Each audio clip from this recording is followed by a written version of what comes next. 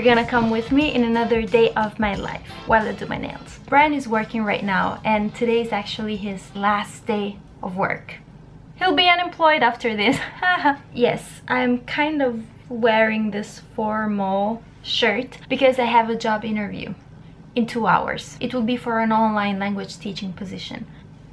Who knows? I'm gonna try this out. For now, I'll do my nails, get ready, practice a little bit, and then interview! Why am I vlogging before the interview? I, I felt like it. So it's one hour before the interview and I think I should eat something first. Also, I wanted to talk about the things I am excited to go back to Italy for. 10 things I'm excited to go back to Italy for. Thing number one, Primo Sale. I'm coming back, Primo Sale. I love cheese and I wasn't able to find good cheese in Japan for two years so I'm like Primo Sale first thing. Stupid. Second thing well this is cheesy but spending Christmas with my family. If you follow Brian on his Briller channel you know that last year it was a little lonely in Japan. We even made a video about it. Maybe I'll post the link below or up here somewhere. I'm here ready. My interview should start in like 15 minutes why am I nervous? I shouldn't be. I shouldn't be. I'm confident. To talk about something else, the third thing that I am happy about this is stupid, but is the fact that when I go to the restaurant in Italy, I'll be able to understand what other people are saying, like people sitting at the table next to me. In Japan, I understand something, but in Italy, I can really understand what they're saying yeah i am one of those people. I'm like eating and also taking part in your conversation. If you're sitting next to me i might give you my opinion if you ask me. I'm coming back. People at the restaurant.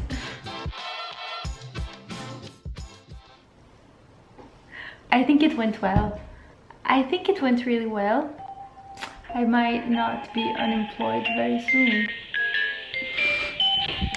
I feel so much better now. You know what I would want? Thing number four, cheap gelato. In Tokyo, you can find good gelato. I've tried good gelato. But a small cup, two flavors, was almost seven euros. what? No, no. But I'm happy that I'm going back to Italy because right now, some gelato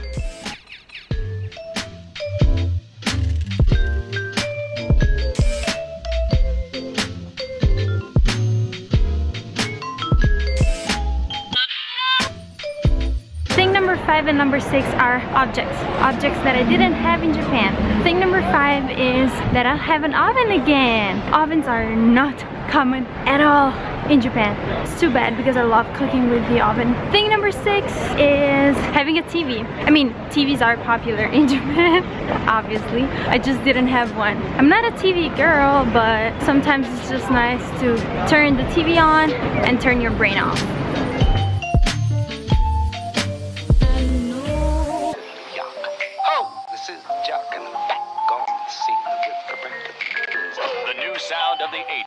Suddenly you hear it everywhere.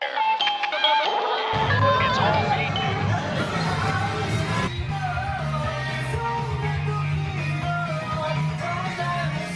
Thing number seven, in Japan, if you sing on the street, you're weird. You're really weird. So instead of singing on the street as I would normally do in Italy, here I am, karaoke time. It's all beat and all talk. It tells you a story and makes you want to dance. Okay, you wanna hear some singing here? You wanna hear some singing here? Let's go for falling. Ah!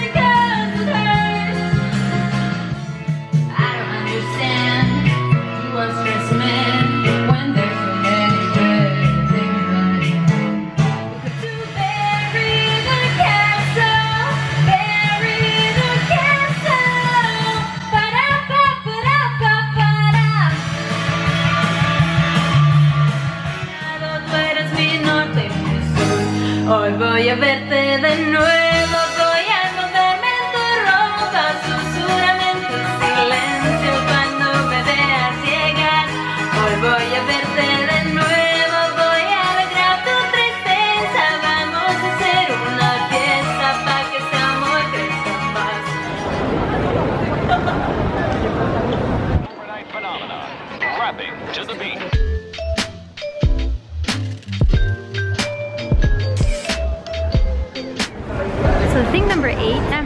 to go to Italy because I will know how to behave and what to bring to social events. For example, in Italy, if it's a dinner, you usually bring wine or pastries, right?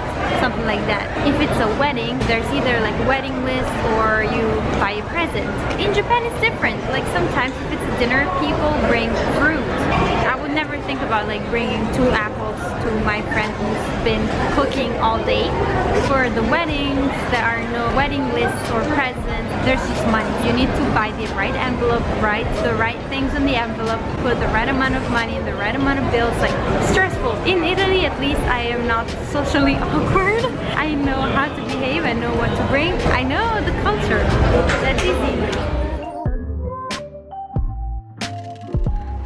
Okay, I'm here with my friend Bon. Say something, Bon. Something. Thank you, Bon. We're walking very fast. I don't know why to go to the restaurant. Apparently, this curry shop is really good. It's from Hokkaido. I love Hokkaido. For dinner, we went to this restaurant that served Hokkaido style soup curry. I liked the design. It was like Japanese but modern. Of course, you had to take off your shoes before entering your room. And also, yeah, you had to sit with your legs crossed. That was not the most comfortable thing, but I really enjoyed the dinner. It was actually like a surprise goodbye party. So Terry was there, Nina, Vaughn, Masa. We had a lot of fun and the curry was delicious. I order vegetable curry with coconut. They always serve it with rice. It was delicious. And the coconut touch, oh my god! After dinner, we just took a stroll in Iidabashi. We had a nice dessert in a fancy cafe on the water, and then it was already time to go back to crowded Shinjuku.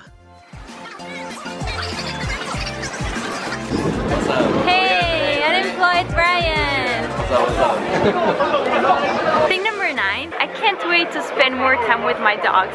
Well, technically my dog. I used to have two, but my one of my dogs died. Heard that. That was sad. Yeah, I know. One of my dogs died a month ago. Not even. Bye, Chloe. Chloe's a nice ass dog. But I'm happy to spend time with my other dog.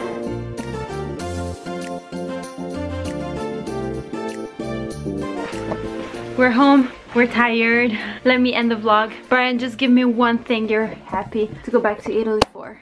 being able to always understand the language so conveniently. I can speak Italian. My Japanese level ain't that good. Okay, you can go to sleep now, baby boy. I'm sleepy, guys. I'm sorry. Yeah. Come It's fine.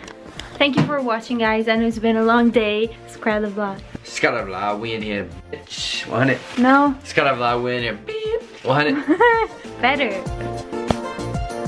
Alguien me pidió que hablara español porque quería escuchar el acento italiano en español. Y como a mí también me gustan los idiomas y me gustan los acentos, pues ya no sé qué decir, pero ya está.